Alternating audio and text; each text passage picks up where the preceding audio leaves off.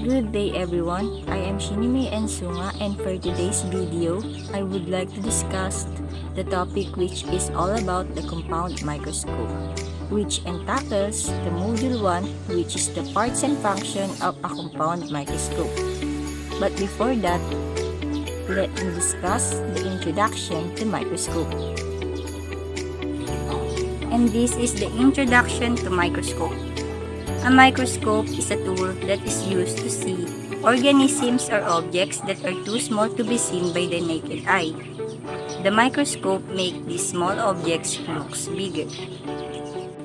In compound microscope naman, it is an optical microscope that uses visible light to form an image. It uses glass lenses to magnify and resolve images. So in the first slide, makikita natin na yung microscope ay may kaibahan sa compound microscope dahil ang compound microscope may ginagamit itong light to see the object that is so small to be seen by the naked eye by using the glass lenses to magnify and resolve yung mga images. So let us move on into the history of the compound microscope. There are two scientists which is a Dutch father-son team named Hans and Zacharias Janssen who invented the first so-called compound microscope in the late 16th century. And when they discovered that, if they put a lens at the top and bottom of a tube and look through it, objects on the other end become magnified. So just imagine how amazing these two scientists to discover the compound microscope noong late 16th centuries for us to be able to see the smallest organisms and to be possible that can be seen now by the naked eye.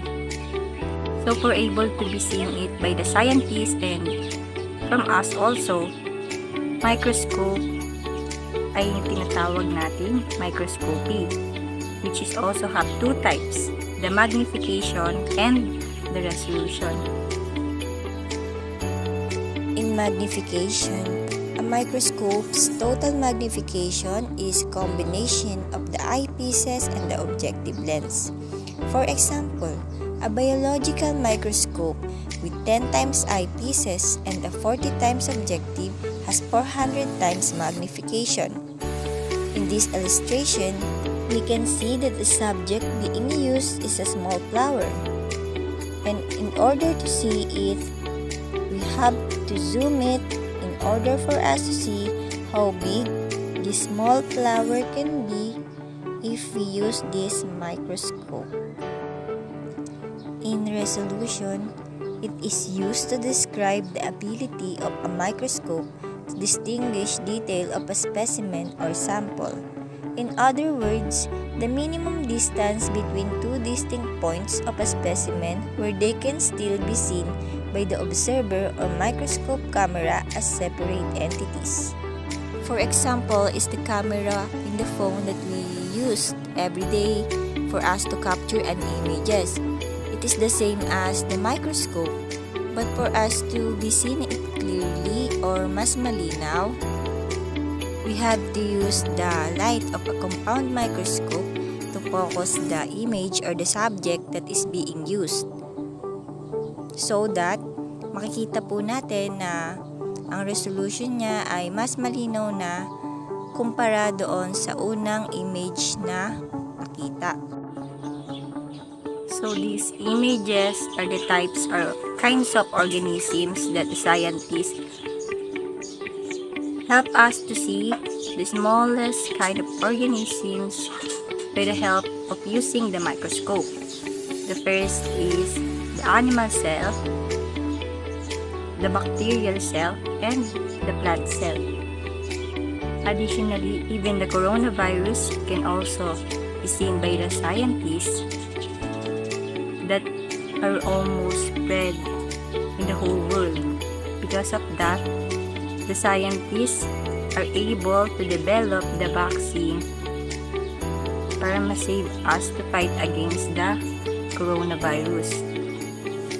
Though maraming iba't ibang variant ng coronavirus, the scientists or even the doctors are also tandem para lang makagawa ng isang vaccine to fight against it. Next, we have the parts and function of a compound microscope. This image shows the parts or the labeled parts of a compound microscope.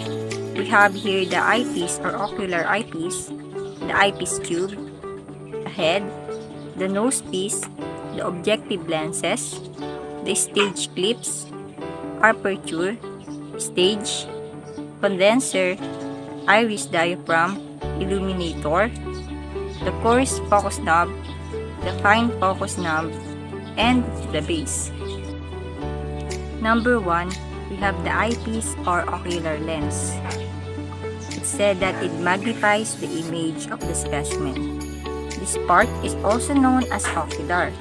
Most school microscopes have an eyepiece with 10 times magnification. So, kanina, diniscuss natin na yung magnification is on how are we able to zoom in para makita or ma-magnify ang isang maliit na organisms or an object. Number 2 is the eyepiece tube or the body tube. It said that the tube holds the eyepiece. Makikita natin sa images na yung eyepiece or the ocular lens na nasa ibabaw and the eyepiece tube or body tube is connected for us to be able to see or for the eyepiece tube to hold the ocular or the eyepiece. So in number 3 which is the nose piece, as you can see in the image, it holds the objective lenses and is sometimes called a revolving turret. You can choose the objective lens by rotating to the specific lens once you want it to use. As you can see in the arrow, yung nose piece, ito yung pwede natin napilitin para magpalit tayo ng iba't ibang uri ng lenses na pwede natin magamit para makita ang isang organisms. Number 4, which is the objective lenses. Most compound microscopes come with three or four objective lenses that revolve on the nose piece. The most common objective lenses have power of 4 times, 10 times, and 40 times. Combined with the magnification of the eyepiece, the resulting magnification is 40 times, 100 times, and 400 times magnification. Kanina nakita natin na yung nose piece ang nag-hold para dun sa objective lenses. The objective lenses naman, it said that it helps us to zoom, to zoom in, or to magnify the object or the small organism. Number 5 naman is the arm. The arm connects the base to the nose piece and eyepiece. It is the structural part that is also used to carry the microscope. So for us to be able to hold the microscope, syempre kailangan natin ng arm. Kasi ito yung mismong nag-hold doon sa may eyepiece, sa uh, ocular lens, sa objective lenses, and the nose piece. Number 6 naman is the stage. This is where the specimen is placed. This place is for observation.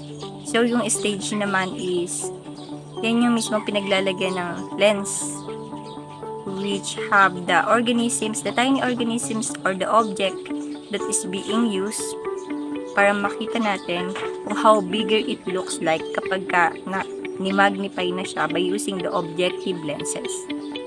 Number 7 is the stage clips. These are the supports that hold the slides in place on the stage. So makikita natin na doon sa ibabaw ng stage, meron siyang clip na parang silver. Tapos doon natin iipit yung lens na nandun mismo yung object na gagamitin natin to see doon sa may mismong eyepiece. Number 8 is the diaphragm. It is sometimes called as the iris or the iris diaphragm. The diaphragm, which controls the amount of light passing through the slide. It is located below the stage and is usually controlled by a round dia. So, yung diaphragm naman is ito yung nagko-control para makita natin or ma-maintain natin yung light na kailangan natin magamit for us to be see the tiny organisms na nilagay natin doon sa may lenses and put it on the stage. Number 9 is the illuminator. Most light microscopes use a low voltage bulb which supplies light through the stage and onto the specimen. So, yung illuminator naman, no, gumagamit daw to ng low voltage bulbs na magsusupply lang for us to be able to see our object that is being used to be seen in the microscope. Number 10 is the coarse focus. It moves the stage to provide general focus on the specimen. So makikita natin dito sa image yung coarse focus focus or the coarse focus knob, knob which help us to move the stage in order to provide a focus on the specimen or doon sa may mismo object or the tiny organisms na makikita natin doon sa may compound microscope. Number 11 is the fine focus. It moves the stage in smaller increments to provide a clever view of the specimen. So, same as the coarse focus knob, ito namang fine focus knob, it also moves the stage pero in smaller increments lang para mas makita natin yung mismong nandoong specimen or the object or the tiny organisms na we put into the microscope or in the stage of the compound microscope. Last is number 12 which is the base. It is the main support of the microscope. Kung kanina makikita natin kung how important the arm in order to hold the whole microscope, syempre kailangan natin ng base. Kasi ito naman yung mismong magiging suporta ng microscope. Dahil kapag nakatayo yun, syempre kailangan natin ng base. So, parang same lang siya ng importance ng arm. Dahil kung wala itong parehas, parang walang susuporta doon sa may mismong microscope. And that's the end of our topic, which is the compound microscope that tackles the parts and function of the compound microscope. Thank you, and I hope you learned something from me. God bless everyone.